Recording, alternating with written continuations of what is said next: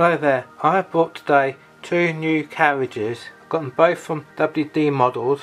One's a four wheel coach and one's a six wheel coach. It's both kind of special to me because I either got four wheel coach or eight wheel coach. I'll show you what I mean. Like that's the four wheel coach. I've got another one of this but in the brown colour. And this is the custard cream coach. I've also got some the LNER and some of the teak coaches. And these are the eight wheel coaches but I've never had a carriage which is in between the size of this eight wheel one and this small four wheel one nor have I never had a carriage which is a six wheel so I thought I'd do them both at the same time. Now from Hornby they are that's why you got two different prices. Right prices from is if you had got them from Hornby 35.99 but in Chesterfield WD models only charged me £33 so that's a saving of £2.99 so let's open up. Oh, and these are these new magnet lights carriages. I'll show you the side first. This is the Hornby R40111 GWR four-wheel first-class coach number 143 with lights. And this is the OO scale model railways. This is the outside box. There's nothing on the back really. I'll open it up now.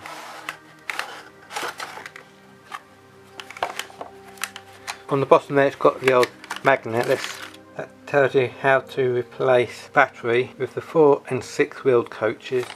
And on the back about the interior lights step board fitting. Oh, I see. But with the smaller carriage you can see that's the step board just there. So obviously back in the day some platforms were they were like nowadays when you catch a train doors level with the door. But back in the day ground was was the same level as the wheels kind of, so you had to step up so that's what this is for. You can just see just there one pointer to now? So that's the step board there and at the bottom there we've got the magnet. Let's have a go fitting these step board fittings it's very fiddly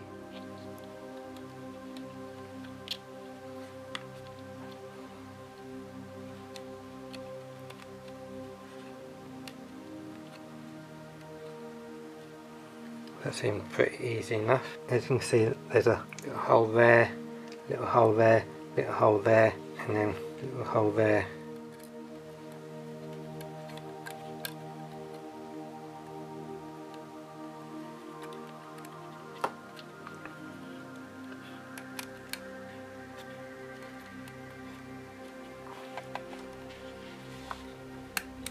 And now they both come off I think you get the idea. With these stepboard fittings, got to make sure that they go in the gaps where you can see in the picture.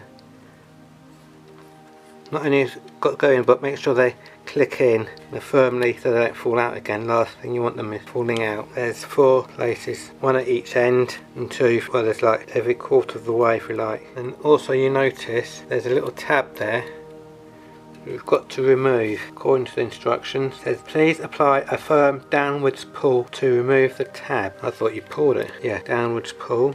Unless you got it I see unless tab thing's fallen out. Unless you got it like that way and then ended up taking this apart to take that little tab out because it's quite hard. Now this is the actual base so you can see. The there's no spring buffers. There's a bit of the interior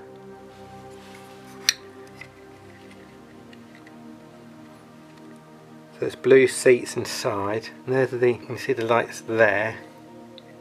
Let's put all this back. That's a tab there. That's a battery there. I see what they mean by a firm pull because that was quite difficult to pull that out. Let's put this back together this again. is a six wheel coach. Again Hornby price 35.99 from WD models in Chesterfield only 33 pounds. So again that's a saving of £2.99 again there's nothing on the back of the box really.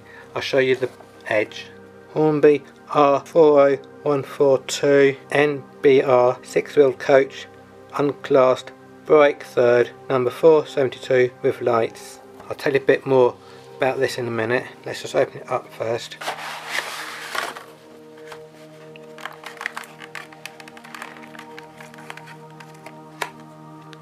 Again with the step board fitting there, we have to fit that ourselves. Got the magnet magnet there on top uh, the buffers are not sprung I'm guessing we have to take that tab out again show you the, exactly the same that's the interior lights with the step board fitting and on the back how to replace the battery. I'll just quickly fit fit this exactly the same last time. Got them tiny little holes there where these, know, one at each end and two in the middle, just clip in. Just to show you, I was just pushing this bit in off camera and this bit came off. that's that bit there but on this side. Looks like a little drum and you can see glue marks. How well you can see that. Oh actually some little glue marks. So this hasn't been glued into properly. I've just got to push this in. Hopefully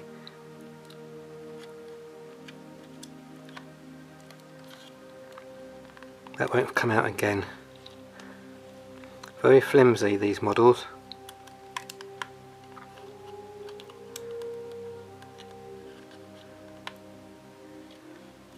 Again, the buffers are not sprung loaded. Let's see if I can take this. Oops. It's a bit come undone. It's not very good this.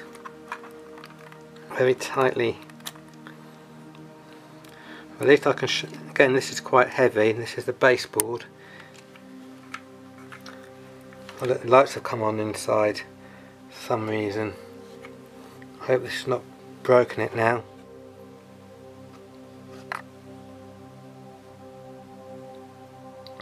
The lights have come off now. Oh look, there's a, how well you can see that. There you go. There's a brake. And this must be, yeah, they said this was the brake van.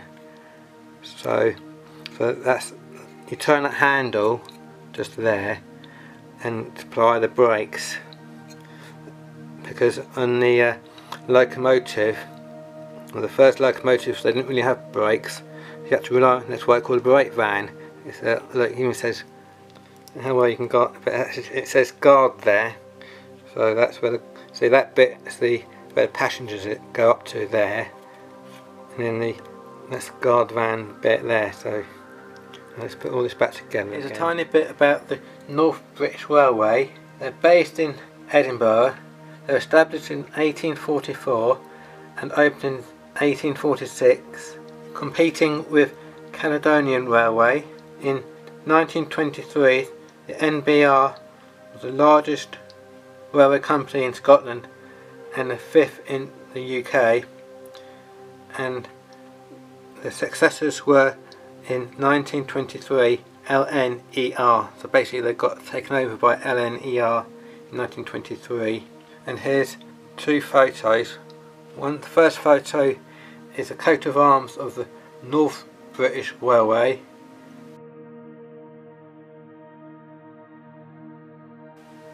the second one is a is a map around about 1922 I've only got four Great Western locos, these two or these two. So the one I've chosen to pull my wagon, the loco I've chosen to pull my two new carriages is this one. Now this is the Hornby Collectors Club loco from 2018 because that's got the 18 on there, that's how I remember. Let's see how this well couples up.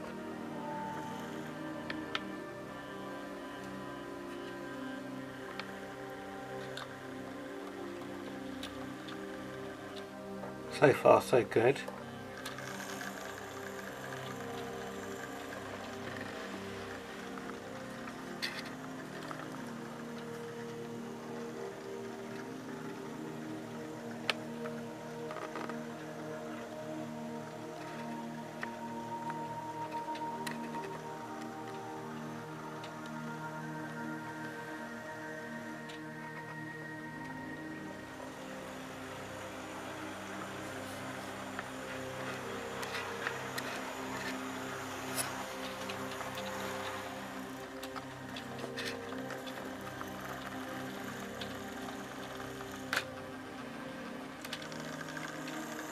Seems to run backwards and forwards okay. Without any problems.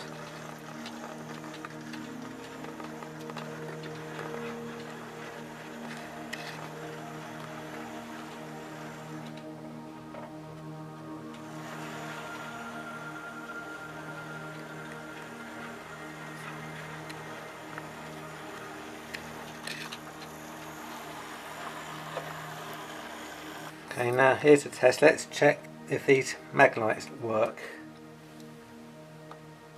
There you go, on, off, on,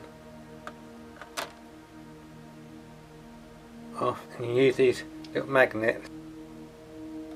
There you go, on, off, on. This one wants to be working better than this one. Let's have a little go with uh, all the lights turned off.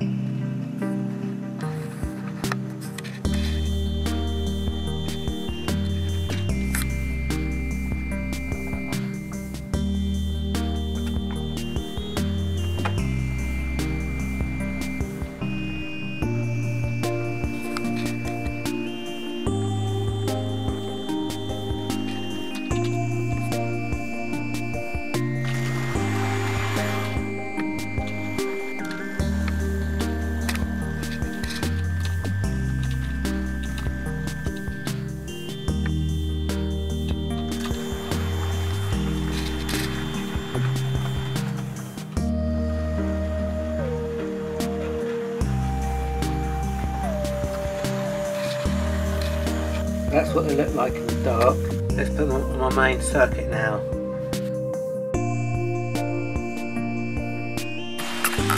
This is my two Magnite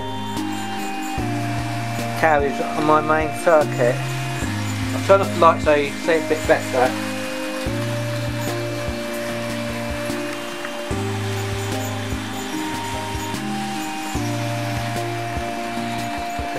It is the uh, two N coaches, the blue and the red.